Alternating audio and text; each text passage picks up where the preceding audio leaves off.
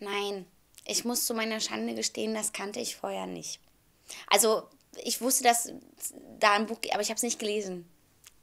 Schande über mich. Aber ich werde es noch lesen. Es gibt es auch im Handel. ich werde mal reingehen. Vielleicht sehen wir uns. Meine Lieblingsstelle. Ich muss sagen, filmisch, aus der filmischen Sicht gesehen, ist einer der Szenen, die mir im Gedächtnis bleiben, wie ähm, Tom auf der Straße liegt, nachdem er Bescheid bekommt und es mitkriegt, dass sein bester Kumpel tot ist. Das ist einer, das ist einfach, das Bild ist Wahnsinn.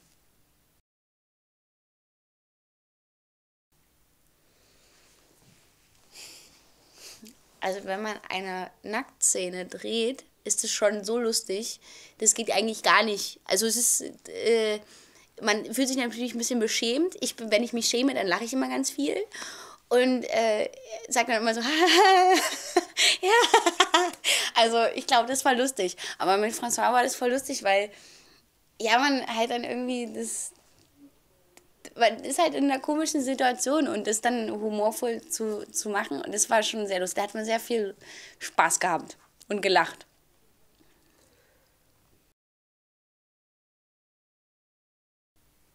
Ich glaube, jeder musste sich schon mal mit dem Thema Tod beschäftigen. Also ich, natürlich musste ich mich mit dem Thema, äh, Thema Tod beschäftigen. Aber ja, ja.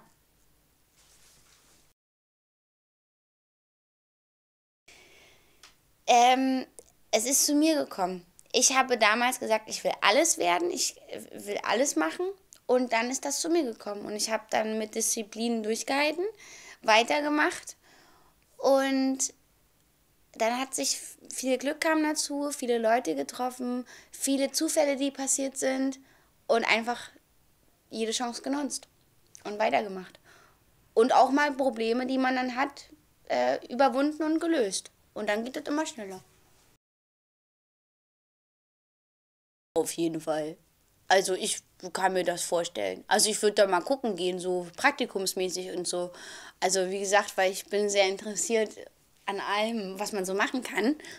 Ich kann mir das vorstellen. Also ja, wieso nicht? Mal eine Woche oder so? Klar, ist jetzt klar, warum nicht?